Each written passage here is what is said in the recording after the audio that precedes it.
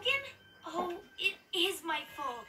Now no one will see Jaden Houston. Don't listen to her. She shouldn't have taken the microphone in the first place. Yes, but I shouldn't have made you let me fly the owl glider, Owlette.